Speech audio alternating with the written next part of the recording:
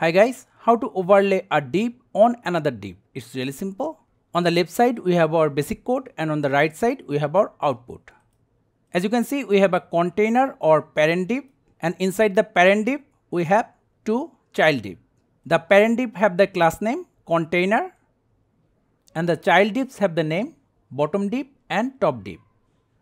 Now if we go inside the style section, here we call for the classes dot container the parent class the child class top div and bottom div. The blue area is the parent div, this red one is the top div and the green one is the bottom div. Now we want to put this top div over this bottom div. For that go inside the parent class, add position, clone, relative, semicolon.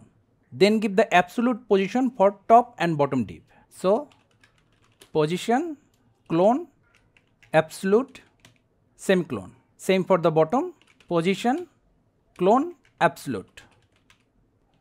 With the absolute position, we can position these two divs wherever we want inside the parent. Let's save the document, reload. See, now these two is overlapping. To move them left or right, we need to add left, clone, suppose 30 pixel, semicolon.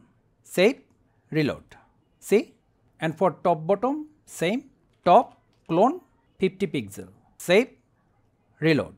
Now suppose you want to bring this bottom div over the top div. for that add a new line. Z index clone 1 save. Reload. See? Now the bottom is on the top because it's moving our div on the z axis. Now if we copy it and change the value to 2 for top div then the top div will again move over the bottom div. So reload, see, it's really that simple. So thank you guys for watching. Have a good day.